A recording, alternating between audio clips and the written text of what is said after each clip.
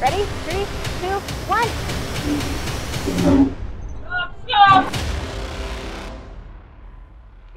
I wanted to build a greenhouse, but it is 110 degrees outside. So I had this crazy idea of building the entire thing in my shop where I have AC and then somehow moving it outside afterwards. Build it in pieces like a normal person might do? Oh no. I mean, build the entire thing completely assembled. Now, don't think me an entirely reckless fool. I did give it a good 20 minutes of thought before deciding to do this. I measured the doorway, which is 119, so I built the greenhouse at 118. This gave me an entire inch to rig together a carriage to wheel this thing out. The wheels are actually scaffolding wheels where I left the front pivotable, but I made the back fixed. In the next video, I'll show you how I actually built the greenhouse. For now, I went to my DECKED drawer system and grabbed my box of tow straps so that I can create a harness. Let's raise the doors and see if I can one, even get this thing outside, and two, get it to site without breaking it.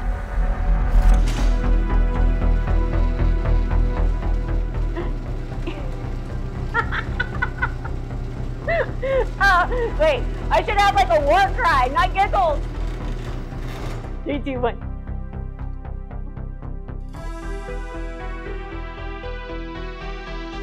There should be a greenhouse moving competition.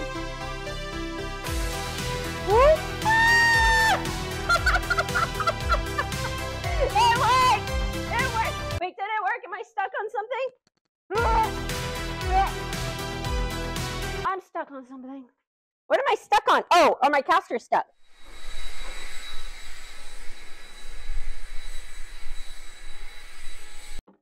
All right, I'm gonna do a three, two, one. Ready? Three, two, one.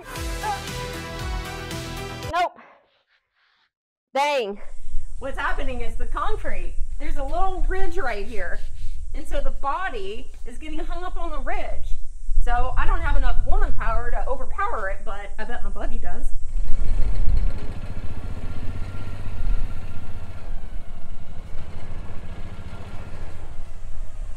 The original plan, whenever I was building it inside, was to pull it straight out, but this header on the shop is like 112 inches, so it's way too short. So I'm only going to pull it out far enough in order to take a left and go down the uh, the nice smooth concrete. Okay, ready?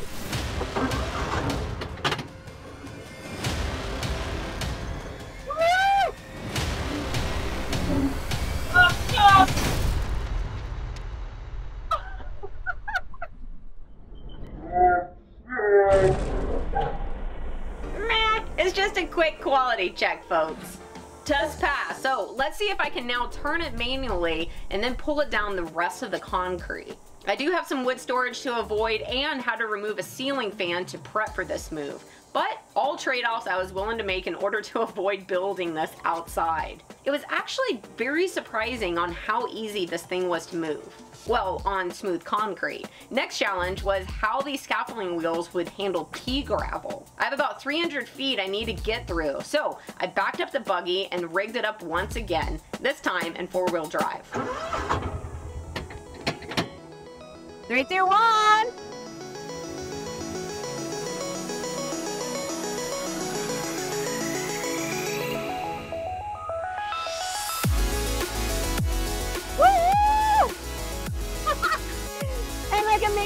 Me going on nuts slow. This is working so flawlessly. Don't doubt me, folks. Do not doubt me. I say that because so many people following along on Instagram thought I was crazy for attempting this entire move. I mean, it is crazy, but I think it's an acceptable amount of craziness. All right, let's see how it handles. This bridge. Swing it, war. Pick up some speed. Come on, four-wheel drive!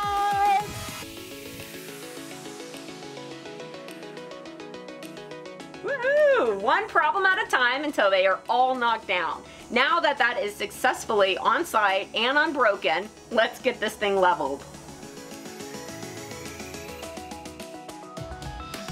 Okay, so now that the big task of getting the greenhouse out there is done. Now I'm gonna take all of my tools in order to prop it up, make a foundation, and level it out. This is pretty much my mobile workbench. It's an electric wheelbarrow as a thumb trigger.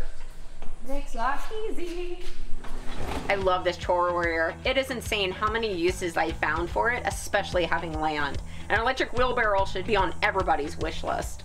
By the way, times when I can't hide from the heat inside, I make sure to bring along my Portacool unit. It normally lives on my deck, but I can easily put it on the job site so I have nice cold air blowing over me all day long. First thing to do when leveling a building is to find the high corner.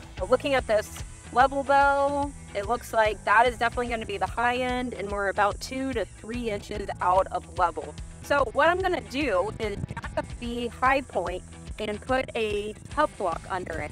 So if you don't want to mess with digging posts, who does? I would absolutely recommend looking at these. It's going to go directly on the ground. And the way that this is designed is the framing, which looks like this, is going to set right inside the TuffBlocks on the high end. Then whenever I go to the low end, in order to jack it up, the design also will fit a 4x4. And so then once I get this side set, I'll be able to take a measurement, cut this block to height, and then set that one level. What I love about these TuffBlocks is that you don't have to go into the ground. Think about hauling 300 pounds of concrete home in order to plant this greenhouse in the ground. You get to skip all of that, all of the mixing, all of the, the tools that requires, and instead these go directly on the ground and you can build almost anything on top of it. Personally, I've already used these in two scenarios, one where I used it as a staircase landing, and then another one where I built a boardwalk. Both scenarios, I did not want to go into my rocky soil. After getting the high point set, then its sister and corner level to it.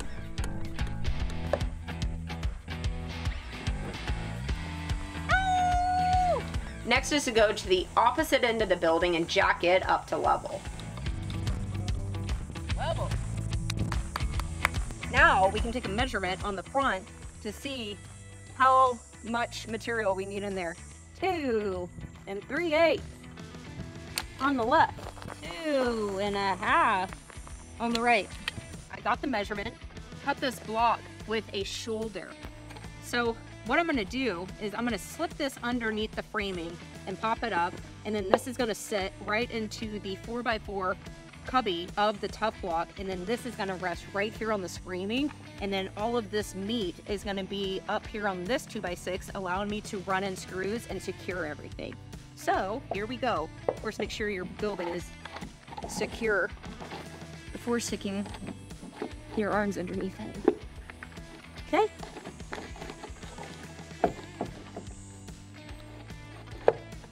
Lovely. Ah, oh, just so, I love it when a plan comes together. So now whenever I lower my greenhouse, it'll rest right on that shoulder and I can do the same to the other side. I'm also gonna place one right at the center on the long point of the shed. I was lucky to have such a flat spot, but this is rare. More than likely, if you have to level a building, you'll end up with taller 4x4s on some of the corners. And if that's the case, then be sure to put fence armor on them. These are protective metal guards that go on any 4x4 or 6x6 post to prevent them from getting eaten up by a weed eater. Great example is fence posts, porch post, mailbox post. They come in several colors so that you can either try and match your finish or contrast it. I cannot believe that worked. Actually, I can. I did think it through before making the decision to build it inside. I personally had a blast moving it out. So hopefully if you have a small building you're trying to move and level on location, this video has either inspired you or given you some thoughts on how to go about it. Stay tuned for my next video where I show you how I built this super cute and strong greenhouse.